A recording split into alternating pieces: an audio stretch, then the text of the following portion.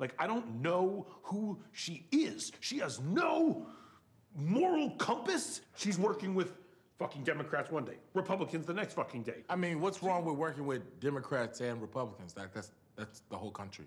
Uh, yeah, except fuck Republicans, I guess is the problem with that. Speaking as an American, shouldn't you f- see both sides? Yeah, I see one side's fucking wrong. What, what's the problem here? I'm a Republican. You're fucking joking right now. Member of the GOP. Yeah, you know me. You're a Republican. Yeah, I'm a Republican. This shit has worked out so far for me.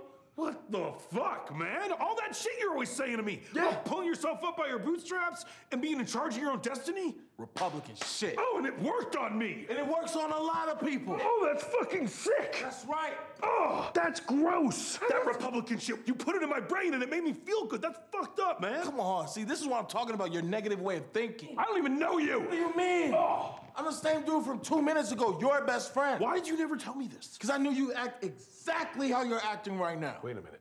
You're always talking about how like the universe has a plan for all of us. I could take it easy, Does that, there's someone watching over us at all times. Yeah. Does that mean I'm a man of Christian faith.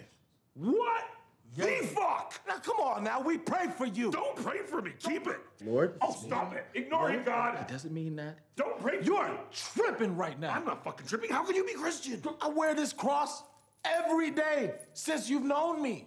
What do you think it was for? I thought it was a cultural thing. You mean like because I'm black? That's what I thought. Yeah. That might be. But that don't mean what you said ain't racist. You're right. Yeah, I know I'm right. Fuck. That's racist as shit. All right, dude. I love you, man. But you're very judgmental. Didn't want politics to get into this because you've never really been good at looking at shit from other people's perspective, Fred. I know. It might explain why you haven't been able to look at this through Charlotte's eyes. I'm sorry. I'm sorry you couldn't be who you are around me and you had to hide your true self. That's really fucked up. It's all right, man. But my love for the GOP and the GOD has nothing to do with us. I'm racist. You're a Republican. I don't know what the fuck's going on.